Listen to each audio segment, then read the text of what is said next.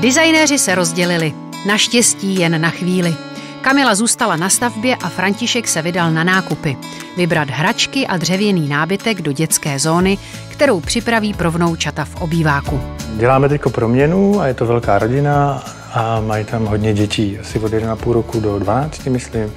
Takže bychom prostě potřebovali vybavit nějak ten, tu proměnu ještě něco, aby tam bylo pro děti. Jednak něco na hraní a jednak, aby třeba pomohli babičce třeba při vaření v kuchyni. Já bych vám doporučil učící věže, Aha. které se výborně hodí pro pomáhání v domácnosti a proto vlastně dosáhnout výš těm dětem. Ukážu vám eh, multifunkční učící věže. Uh-huh. To jsou věže, které, které mají další funkci, krom toho, že si na ně dítě vyleze a dosáhne například ke kuchyňské lince nebo ke stolu. Uh-huh.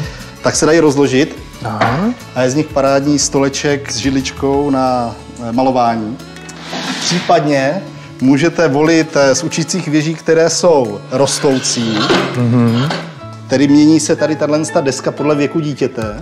Takže děti už nám pomáhají a teď ještě, aby si teda pohráli. Máte něco nahraný? Tady za mnou koukám je nádherný hřiště, ale bohužel teda nemáme tam tolik místa. Neměl bys něco kompaktnějšího, skromnějšího, ale aby to děti bavilo. Mm-hmm.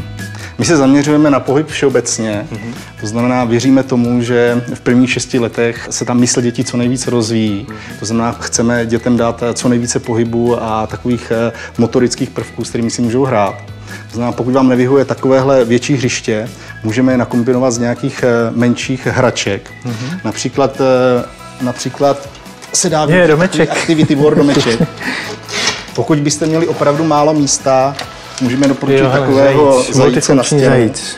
Jednoduše se dá připevnit tady přes šrouby. A pro ten pohyb eh, například takovou to houpačku, Potom je tam houpačka, děti se rádi houpou, moje děti se taky rádi houpou, myslím, že i já jsem se rád houpal, takže houpačka je prostě skvělý vyžití pro děti, takže super pro ně.